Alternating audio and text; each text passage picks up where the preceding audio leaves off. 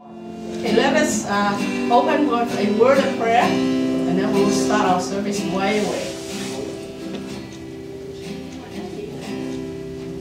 Father God, we are so privileged, so thankful to be here. Especially during this Christmas season, that reminds us the great sacrifice you have done for us so that we can have this true peace and joy that you have prepared for us. Father, there may be war and uh, our life stress and everything that is happening to us and sometimes hard for us to take. But Father, we are in your presence now. Let us set this aside. We'll come to you because we find strength in your presence and may you open our hearts, open our minds to receive your words. And help us, Lord, to love you back as you have loved us so much. We want to honor you. We come to you in spirit and in truth. And may you enjoy our worship. In Jesus' wonderful name we pray. Amen. Let's turn our worship using songs.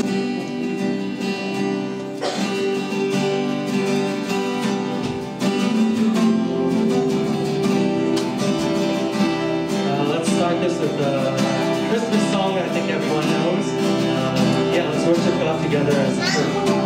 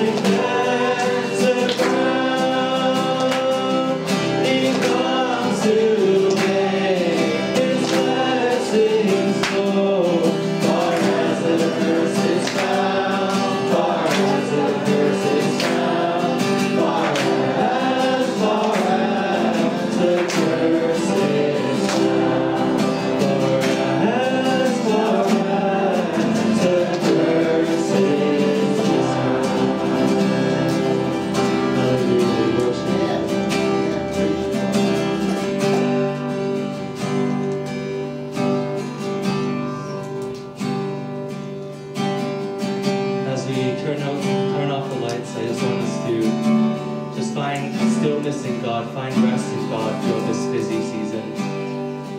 I don't, I don't know about you, but Christmas is always a time that's honestly more hectic than it should be. We need to make sure that we're finding rest in God, finding peace in Him. It's not just always about doing things, but just be still in Him as we sing this next song um, and really reflect on the words. It's a little bit of a newer song, but uh, yeah, I just want us to really look into the words and dig into the meaning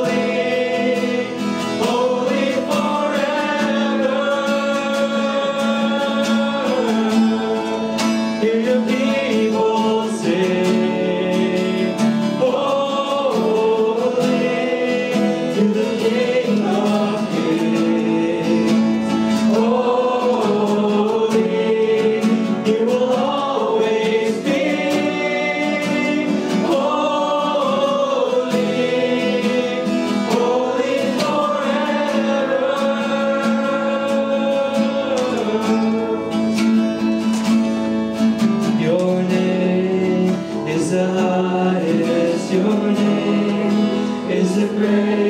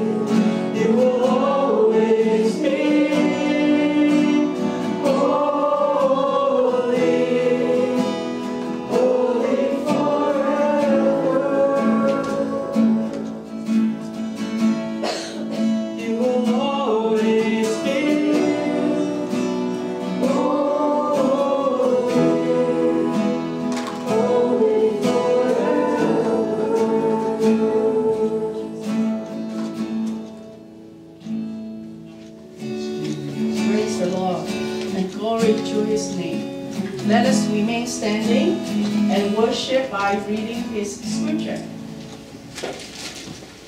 And today's scripture is in Luke 2, verses 8 to 14. Let us read it together. And there were shepherds living out in the fields, keeping watch over the flocks at night. And the angel of the Lord appeared to them, and the glory of the Lord shone around them, and they were terrified. But the angel said to them, Do not bring you good news that causes great joy for all people. Today in time of David, Savior has born to you, Jesus Messiah,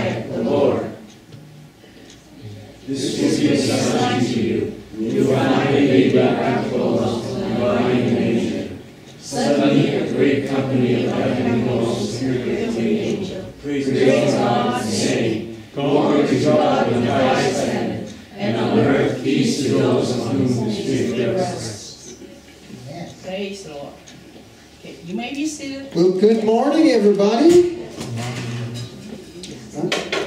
Yeah, there will be a morning service next Sunday too, right? I think so. It's on my calendar. Well, Merry Christmas, everybody. Oh, it's it's so awesome. I, you know, I get around Christmas, I get just like a kid again.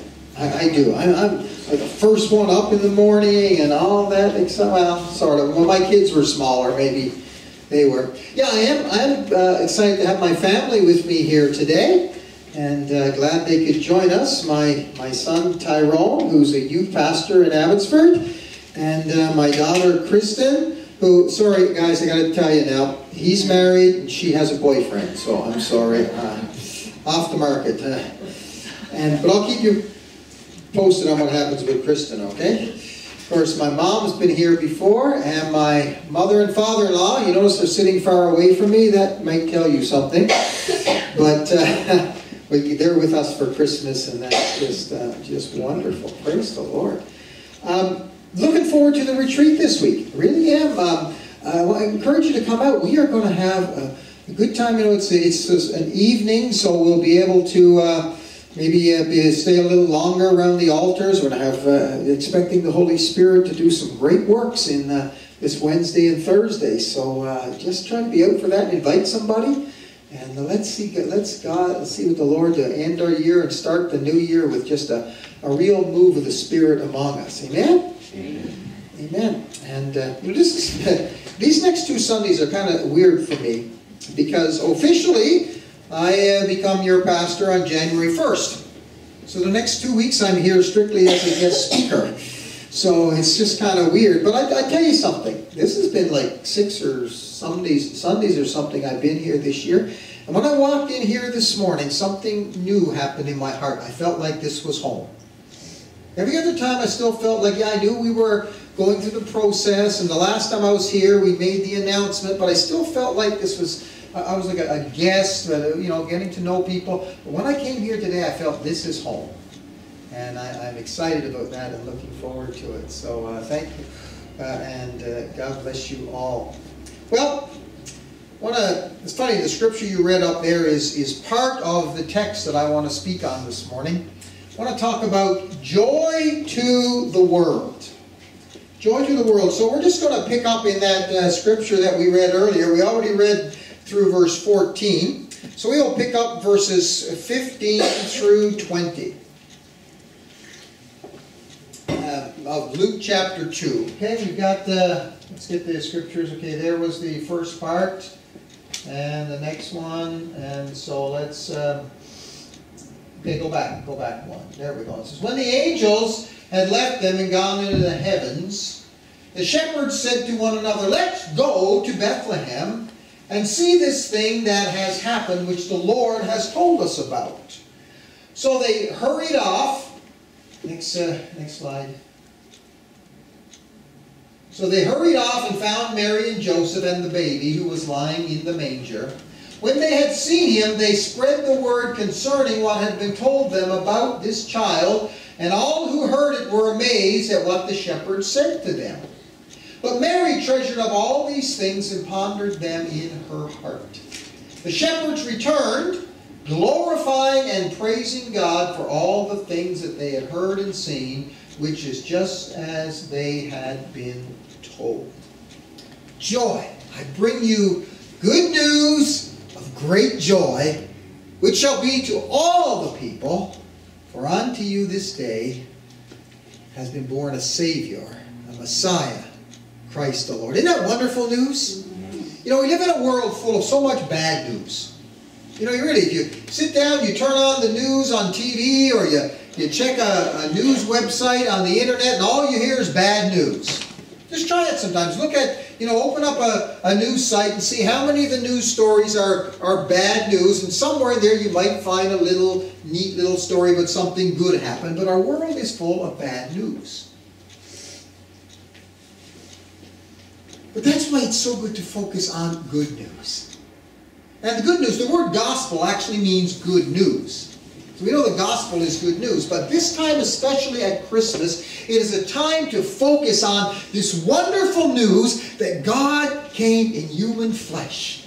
That the Son of God, the Savior of this world, uh, of, of, of all mankind, came to this earth and was born as a baby. God made his appearance in the world. That's great news. Amen? So I want to take a look at this story with the shepherds and the good news and, and see what we can learn from how they reacted to this news. First thing I want you to notice is this all happened at a time when there was little joy. Look at Israel. For one thing, there had been no word for God for 400 years. 400 years between uh, the end of uh, the Old Testament and the uh, birth of Jesus. Imagine that, 400 years. No, nobody had came and was able to speak to the people and say, God has something to say. The nation of Israel at the time was under Roman occupation. They were being occupied by a foreign power that, get this now, that impose taxes on them. Now, nobody likes taxes, right? I mean, nobody here likes taxes. Eh? Well, you know. And, uh, but at least we know, and careful now, don't go into politics. At least we know, theoretically, our taxes we pay go to benefit us. They provide roads, hospitals, etc., etc., etc. In those days, the taxes were all taken to Rome. So the local people got no benefit from it at all. Freedoms were restricted. And even the religious leaders of the, of the Jews were under the thumb of the legal authorities. kind of reminded me a bit of COVID, didn't it? um, so it was, it was a very bad situation. It was also, there was not a lot of good news in the lives of these shepherds. At the time, shepherds were considered a lowly occupation.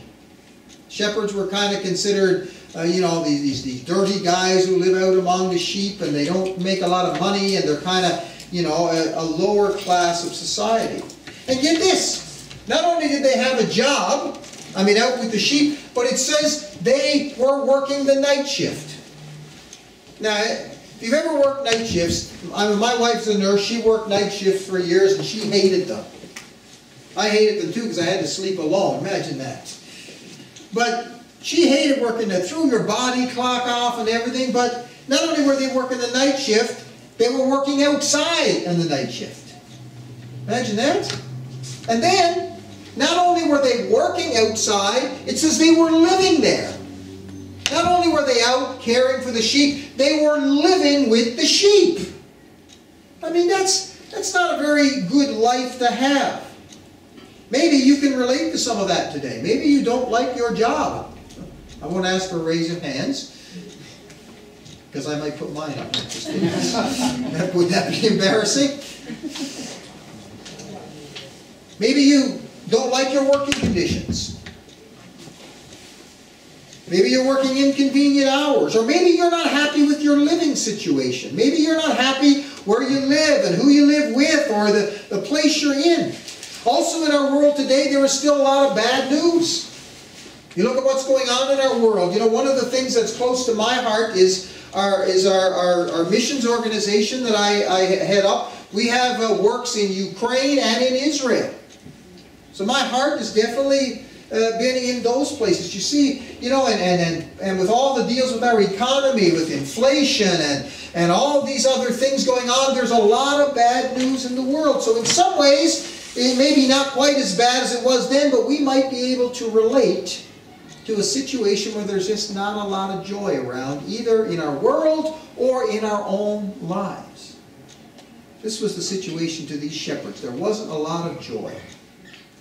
But the next thing we see in this story, in the midst of all this joylessness, there came a message of joy. An angel appeared. Imagine that. No word from God in 400 years, and suddenly there's an angel.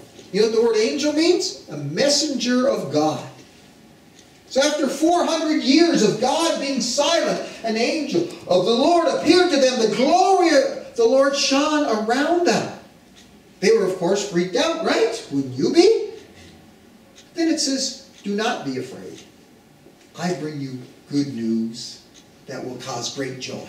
Amen. In the midst of a joyless world, in the midst of their joyless life situation, suddenly there was God's messenger appearing with this incredible news. A Savior has come. The Messiah, the one that they have been waiting for for centuries among the Jewish people, he had arrived.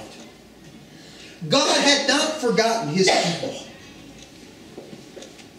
On earth there would be peace on whom his favor rests. There was peace, there was joy. You see, the message of Jesus brought joy into a joyless situation. Into their joyless lives, out there under Roman occupation, paying taxes that was going to, to benefit Rome, in a very low paying job, having to work the night shift outdoors and having to live with a bunch of smelly sheep. And suddenly an angel says, There's good news for you. Jesus has come. The Messiah has been born. The one you've long waited for. And not only is he coming, but he's bringing joy and he's going to bring peace on whom God's favor rests.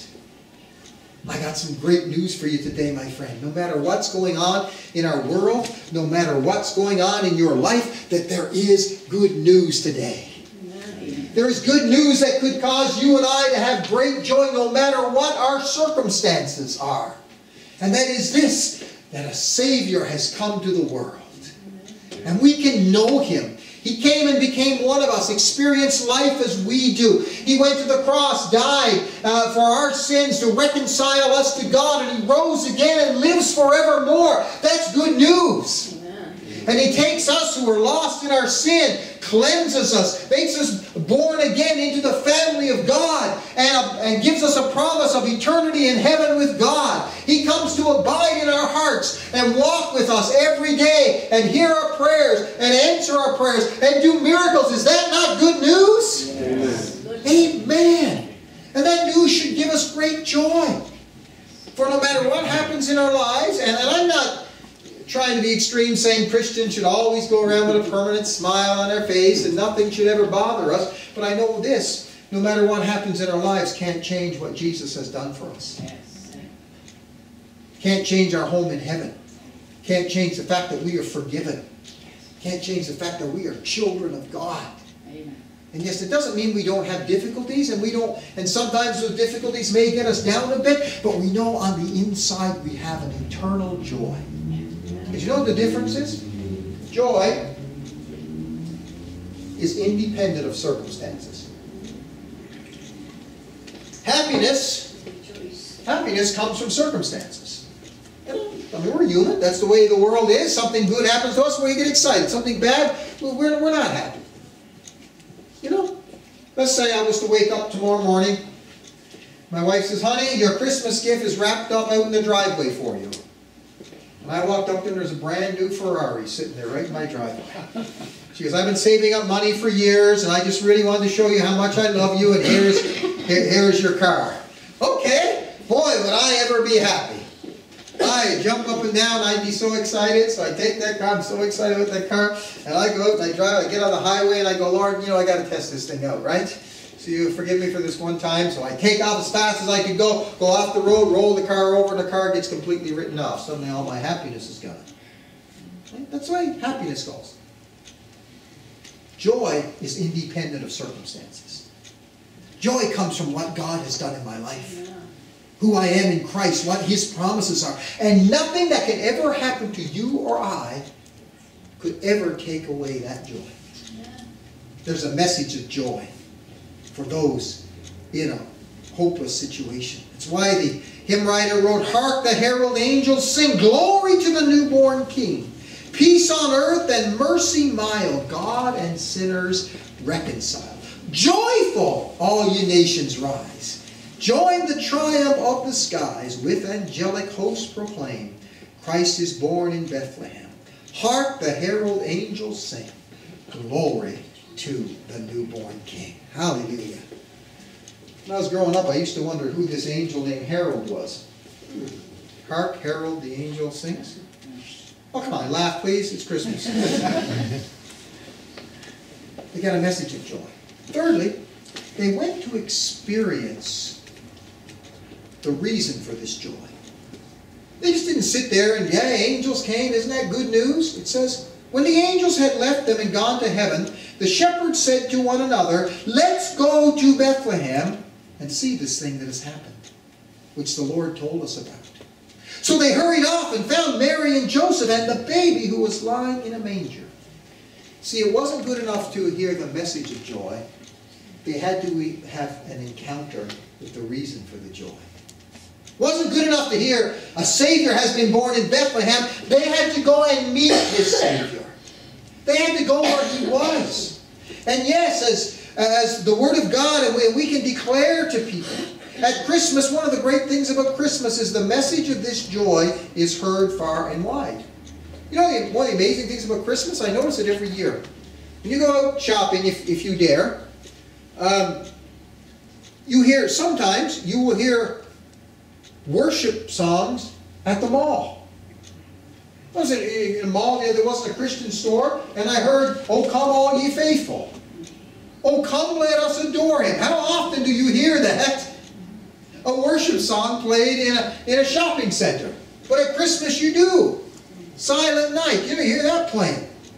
So in this world where we're, we're being bombarded during this month of this wonderful news of joy, yet so many people hear that message, and yet they don't still have joy in their lives because they don't go encounter the one who brings that joy.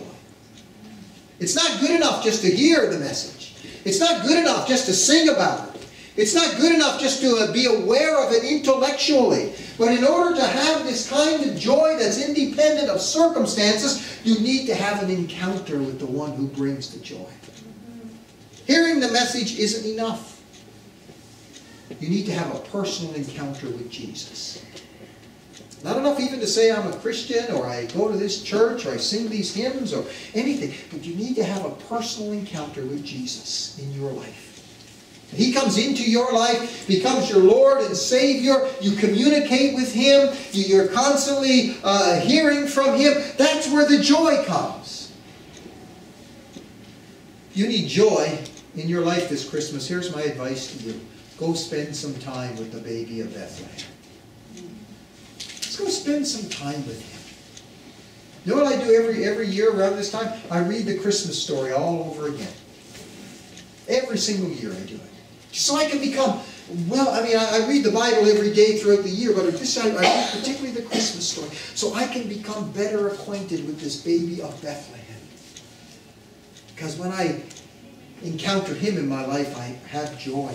Again, words of a Christmas carol. Come to Bethlehem and see he whose birth the angels sing. Come adore on bended knee Christ the Lord, the newborn King. Glory to the most excellent deity. Have an encounter with Christ. That will bring joy. Fourth thing we see in the story, this is the part I found most interesting. They returned with joy. It says, The shepherds returned, glorifying and praising God for all the things they had seen and heard. Okay, let me give you a couple thoughts about that. they returned with joy. They returned praising God. Yet, do you notice? Jesus never did one thing for them. What did he do? They went to the manger, looked at it. He might have cooed a little bit at them. Babies, you know, newborns, they don't do a lot for you. In fact, when these two showed up, they made my life more difficult. They're still doing it to a certain extent. But really, what has an infant ever done for you? Nothing. Jesus didn't answer their prayer. He didn't change anything about them. He didn't do anything special in their life whatsoever. But yet they returned with joy just because they'd spent time in His presence. And get this they returned to their same life, same jobs, same home. It wasn't like they're, you know, uh, people often often say, and, and it is true, and I'm not debating that, you know, Jesus changed my life. Well, these guys, their lives weren't changed one little bit. They went back to the sheepfold. They went back to the night shift. They went back to living with the sheep. They didn't get a new job. They didn't get a raise. They didn't get better working conditions. They didn't get a better place to live. None of these things changed in their lives. But encountering Jesus brought them joy. Jesus never did a thing for them. Nothing changed. And I think too often, as, as believers, we begin to, you know, the, the things that cause us to worship, and, and we should be thankful. Oh, believe me, I'm, I'm a big, big fan of testimonies. I love, praise God for the things He had done. But too often our experience with God rests on what He has done rather than who He is. They were like, we've been, we've seen God in the flesh, we've seen the Messiah, and they return all excited, praising God even though nothing in their life has changed. You know, maybe in your life this Christmas, maybe there's not a lot of joy. Maybe you've been praying and you still haven't got the answers to prayer that you're expecting. But even if nothing changes in our lives, we can still experience joy this Christmas just because we have met Him. Because we've been in His presence. You've stared at his face. Yes, when God does something great, uh, yeah, we should thank him and express that. But again, this, this inner joy we have, I said it's independent of circumstances, and that includes it's independent of blessings from God. And yes, we should celebrate blessings from God. We should thank Him for everything we have and everything we do. And, and, and you know, when He blesses us beyond, we should give Him maximum glory. Yes. but even if nothing changes in our lives, we can still have joy simply because who He is. We have seen Him. The one the prophet spoke about. The one the angels spoke about. If you're here this morning and you have a personal relationship with Jesus, that in itself is reason for joy. Amen. The last point Don't you love it when a preacher says the last point? Sometimes I can mean another half an hour, so don't get too excited. They spread the joy. What it says. When they had seen him, they spread the word concerning what had been told them about this child. And all who heard it were amazed at what the shepherds said to them. See, they took literally the message of the angel. Look at what the message of the angel was. I bring you good news that will cause great joy for all the people. It wasn't just that they would experience this joy to themselves. They went and spread it to others. See, the message of Christmas, the joy that we have, is not something we can keep to ourselves. You know, there's a story in the Old Testament it's an interesting story. It's in 2 Kings chapter 7. The, the city of Samaria was being was under attack by the Arameans, and the city was under siege. And they had a blockade. They had a blockade around the city so nothing could go in and out of the city. And uh, the people in there were literally starving. And things look pretty bleak. You're surrounded by this hostile army. Nothing, you can't uh, get anything in and out. There's food is running out. Basic supplies are running out. The people are in a desperate situation. Outside the city, it says outside the city gates, there were four lepers. Now they were had leprosy, so they couldn't live inside the city, so they were sitting outside the gates by themselves. Finally, one of them gets a gets a, a, an idea he says, guys, what are we doing just sitting here? We're starving to death. You can imagine, there's no food in the city. There's nothing getting out to these lepers, right? So if we sit here, we're just going to starve to death. So why don't we go to the enemy's camp? Who knows? They might kill us. but we're going to starve anyway. But they might take pity on us and give us a few morsels of food. Why not? Let's, why don't we just go there just to see? We got no, in other words, we have nothing to lose, right? So they get up and they go out to the camp. Here's what they did not know. The night before, the Lord had sent his angel and had scared the enemy off. The Lord had come and sent an angel and scared them, and they all, they, everyone in the enemy's camp, all their soldiers, commanders, everybody, got up in the night and fled for their lives. They thought they were being attacked by a mighty army.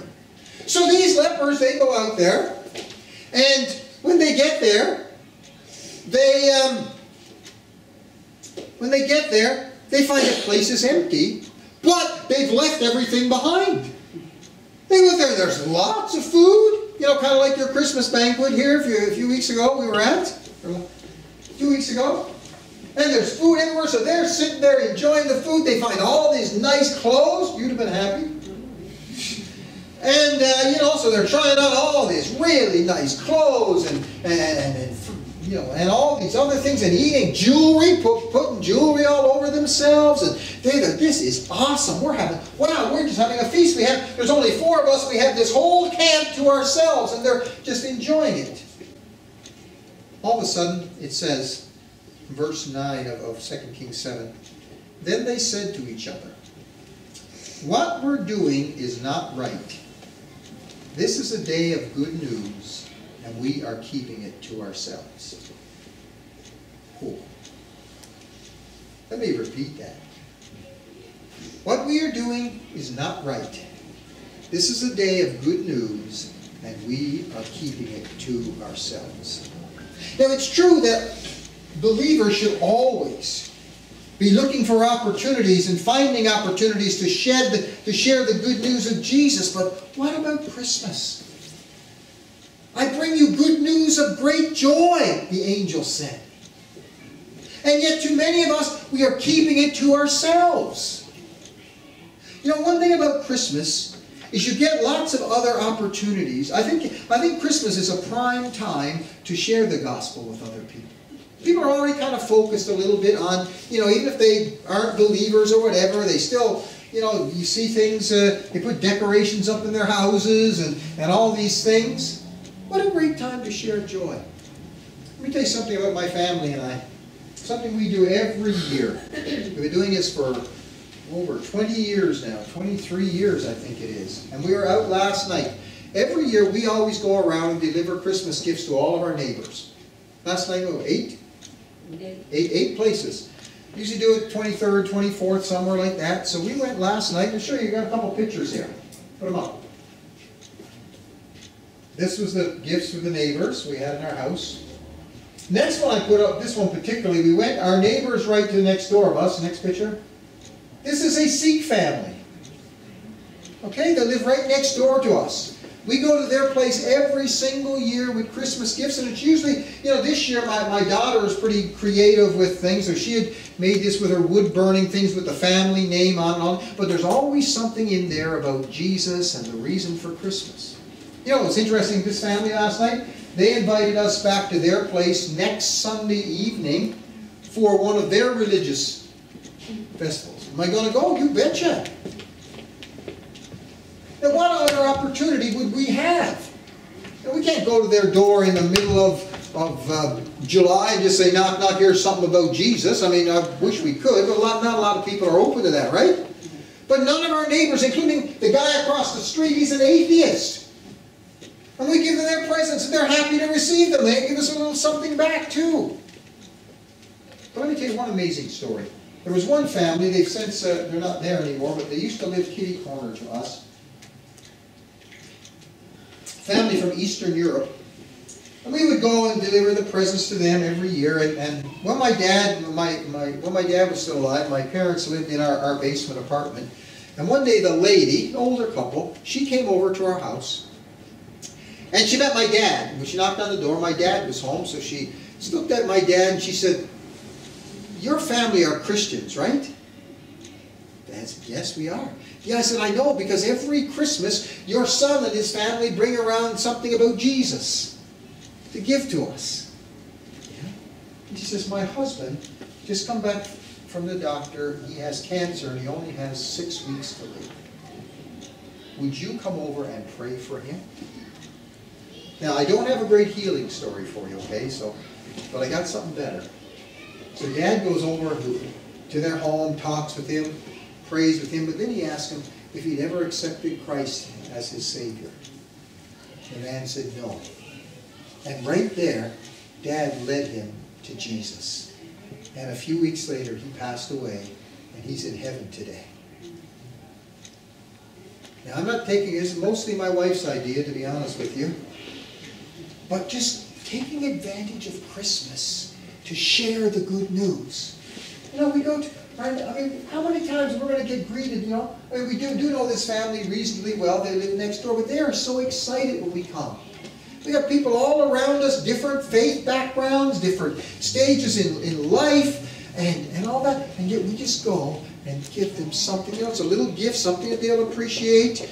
And but it's also always something about Jesus.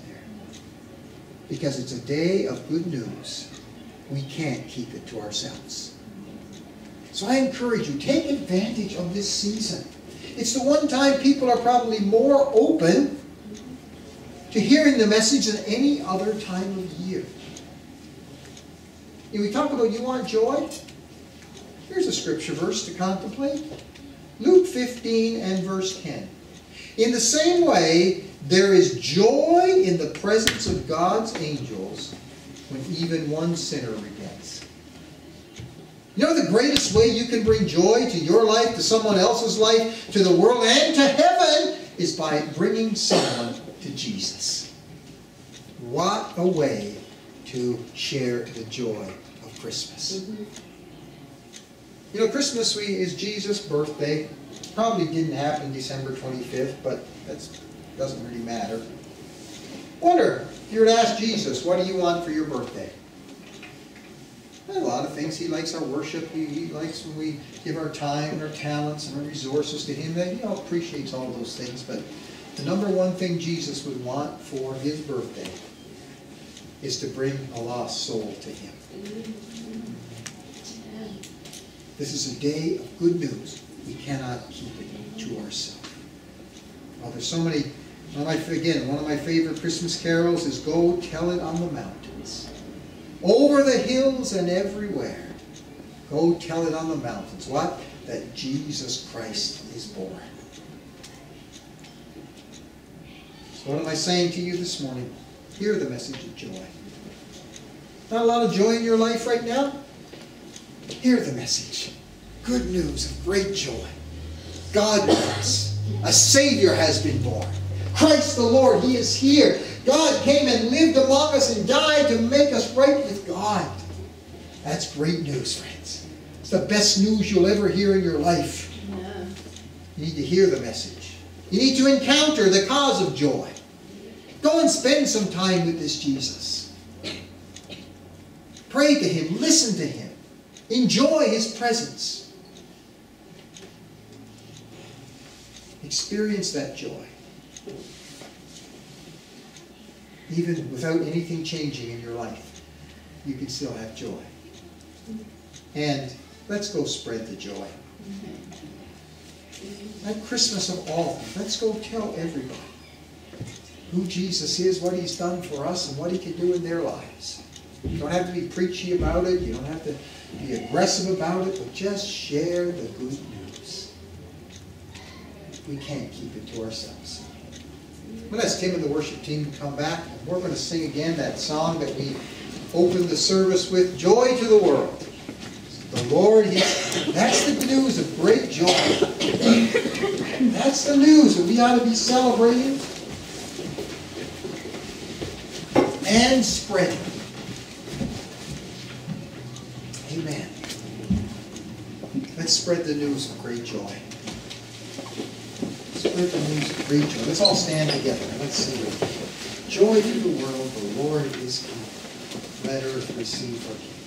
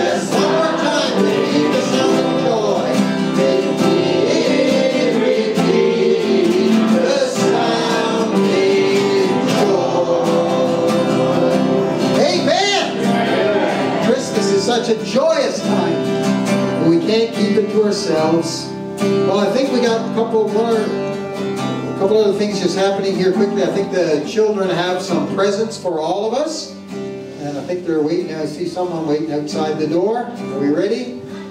Um, if not, while we wait for them, I forgot to do something earlier. I, I, told my son I was going to ask him to come here and share a few words with us. And uh, he, uh, sorry. And uh, someone asked his son again, he's a, he's a youth pastor at Olive Community Church. And uh, Ty, come up here and just say a few words of greeting to the folk, and then you can close us in prayer as well. All right? Okay. What do we, do we look like? what do you think? Who looks better? you do. What? Yeah. Well, Merry Christmas, everyone. As uh, he said, uh, I I think I'm his son. We'll uh, believe that for now. Uh, yeah, I'm a youth pastor in Abbotsford, uh, small group, and yeah, this past year I am not kidding when I say this guy has not shut up about uh, Burnaby. he says he, he, used to come he'd come back excited every single time he'd come out and speak. And yeah, it's like every time I'd come over and just say hi, he'd just go, oh, you gotta hear about, you know, what God's doing in this church. And it, it's really encouraging to see, you know, being here and seeing, even though, you know, it's like it may not be like a Broadway multi, you know, 100, 200, 300 per service, but, you know, amazing things come just from when a group of people are gathered together. And it's like you see a lot of times that God has done amazing things just through just a couple people. So it's not always just about numbers. And I think definitely the kids are here. But why don't we just uh, all uh, close together in a word of prayer? Dear Lord, we praise your name. We thank you for everything that you are and everything that you do. Lord, as we go through this Christmas season, Lord, we thank you for this night and what this day symbolizes.